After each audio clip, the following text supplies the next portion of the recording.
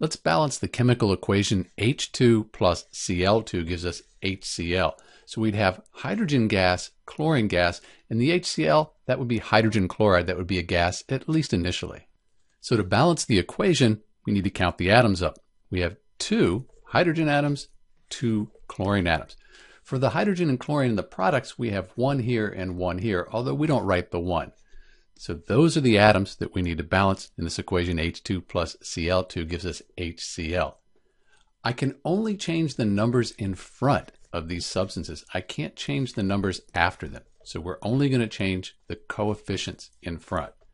And it looks like if I put a 2 in front of the HCl, this 2, we're going to multiply it by everything here. So 2 times 1 hydrogen gives us 2 hydrogens, 2 times the 1 chlorine.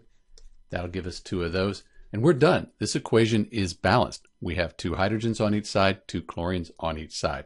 If you wanted to report the coefficients, you could say 1, 1, 2, although we don't write the ones in the equation here. Let's add the states in.